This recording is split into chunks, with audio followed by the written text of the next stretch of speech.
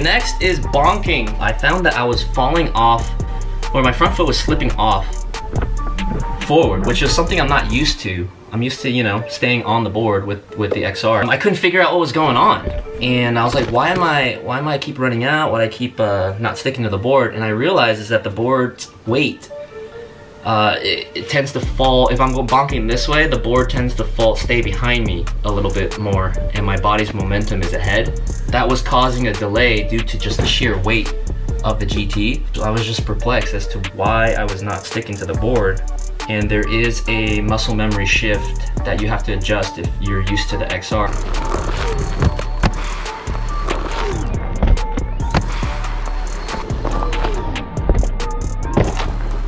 Nine pounds is significant and there is a delay. The torque helps offset that a little bit, but did not change the fact that my body was in a different, uh, different momentum with, with the board itself.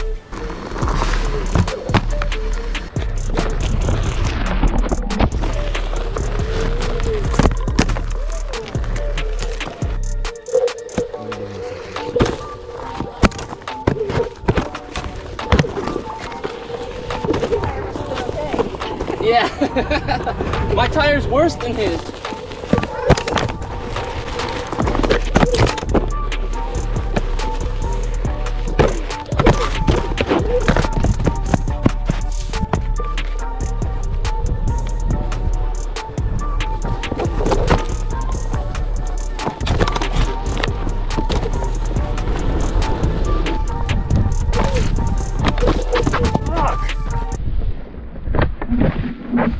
Oh, it's a heftier board for sure.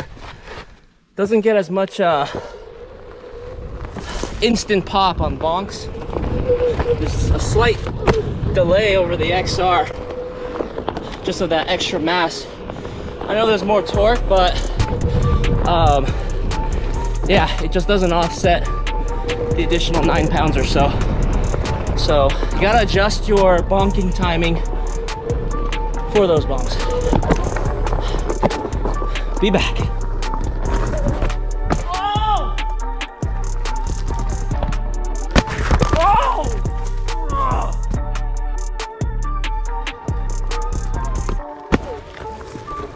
Yeah!